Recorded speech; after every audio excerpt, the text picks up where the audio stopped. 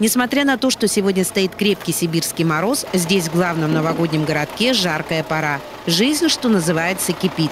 Каждые 15 минут подъезжают КАМАЗы, груженные снегом. Безостановочно работает трактор, весело орудуют лопатами резчики по снегу.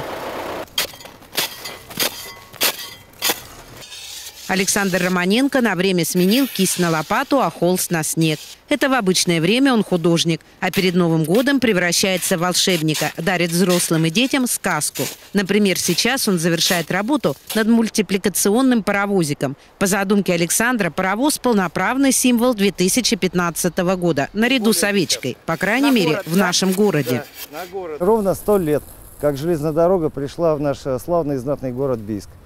Э, вот этому и посвящен этот локомотив. Э, ну, на, на самом деле, это новогодний экспресс. Э, вот, а здесь запланированы горки, в данном случае их две, среди вот этих больших снежных вагончиков.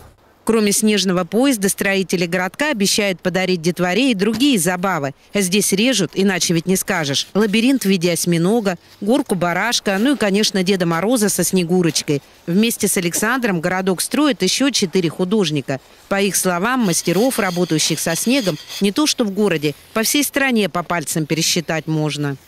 Здесь свои особенности есть. Во-первых, холод.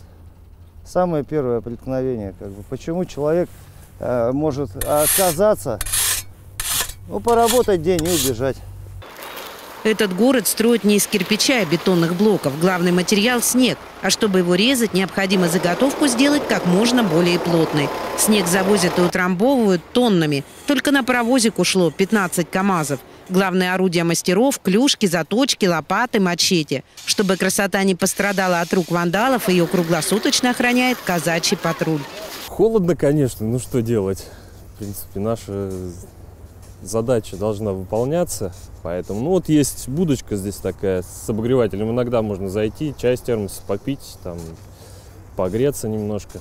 Свой городок художники завершат строить к концу следующей недели. А вот сколько он простоит, зависит от нас с вами. Ирина Дубицкая, Сергей Доровских. Новости ОТН.